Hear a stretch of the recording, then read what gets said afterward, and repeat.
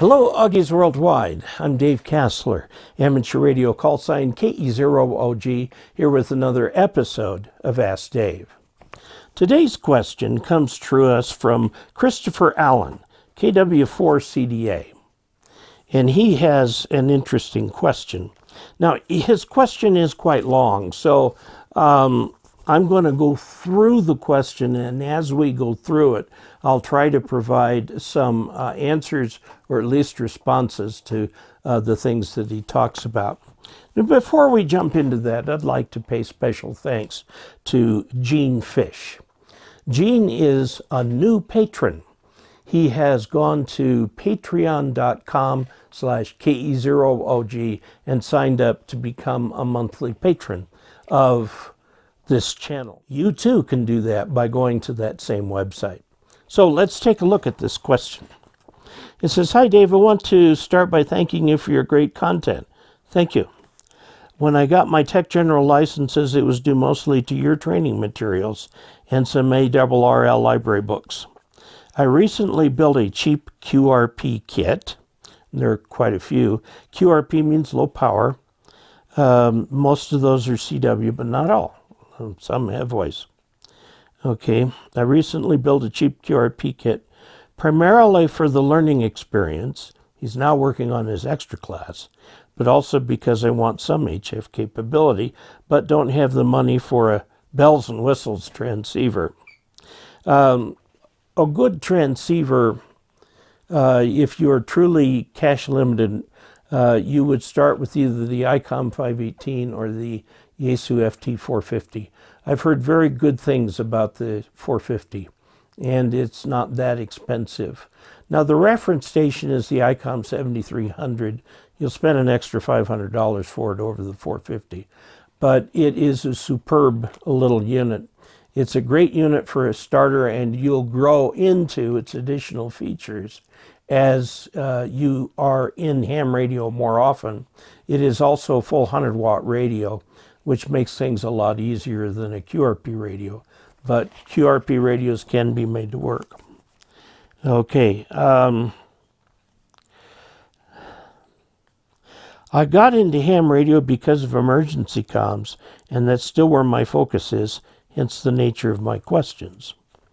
I am trying to create a base station setup that covers numerous bands and types of radio talk pads. Well, they're too basic. HF and on the one side and VHF UHF on the other. Most people, not all, uh, keep their stations separated that way. In the case of my station here, I've got a UHF VHF rig right here. Um, and down here, I've got the ICOM uh, 7300 for HF and 6 meters. Okay, I have antenna switches on both, so I can choose the antenna I want and uh, it's a very nice, very satisfactory setup. And you can do it like that too. Okay, I would like to know the best practice for running multiple coax lines and various types of antennas in close proximity to each other. First of all, let's start out with this. You can run coax lines together. Okay, the energy is entirely inside the coax, so you can run the two together. And um, so can I run four or five coax lines in a single bundle, perhaps through a single conduit buried just under the ground surface to prevent tripping hazards and facilitate easy mowing? Yes. Now, a number of lines are rated for direct burial, um, and some aren't. So look for the line, uh, even within a type like an RG213. There will be some rated for direct burial and others not uh, or you could put them through a conduit, but know that the conduit will eventually, no matter how hard you try, will fill with water. Okay, so uh, you're going to have to um, make sure that there are no nicks or cuts because the the outside of the cable is waterproof until it gets nicked or cut. Okay. These lines are anticipated to be used as following. Two for a 25 watt VHF UHF with either a J-pole, quarter wave ground plane, or a Yagi, a vertical dipole. Oh, Yagi. Okay. fine. Note that for FM, you want vertical polarization, and it uh, depends on whether or not you need gain to get where you're going. Um, otherwise, you're going to end up putting a rotator on that uh, Yagi if you use that. Uh, vertical dipole for CB, okay, and hopefully something in the GR, GMRS spectrum. Um, which is limited to 20 or 25 watts. It's, it's not very much. It's easy to do. My 40 meter QRP is set up with an NVIS dipole, which I plan on mounting away from this particular configuration, pole tower configuration, about 45 to 50 feet away from my ham shack. Okay, you don't have to go that far. VHF and 40 meters just don't get in each other's way very much. Okay, so yeah, I'll put a little bit of spacing, but you don't really need a huge amount. Okay. Now, um, is there anything else helpful to know as far as antenna segregation to avoid future problems? Nothing is anticipated to exceed 25 watts output. You will eventually, believe me.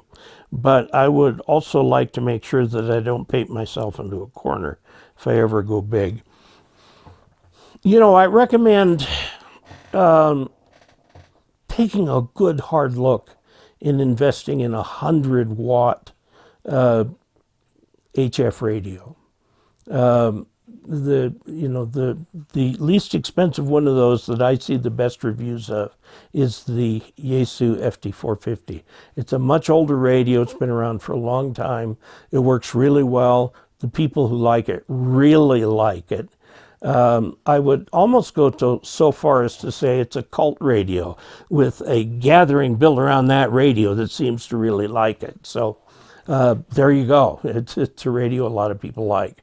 I like the um, this one here because it has more capabilities and will satisfy you longer than another radio, although a number of people have been with the FT450 for a very long time. So you can also go to my webpage, dcasler.com slash reference to look at a, a complete list of all the equipment you need for a reference 100 watt station. And you can pick and choose from there what you might want, but there's suggestions, things that you could buy. If you put that whole package together, you would end up with a radio that you'll be satisfied with for several years. And then maybe at some point, if you find yourself doing a lot of contesting, you'll buy a contesting radio like the ICOM 7610 or whatever. Okay, whatever works out. Now, um, as far as keeping VHF, UHF away from HF, it's not that big a problem.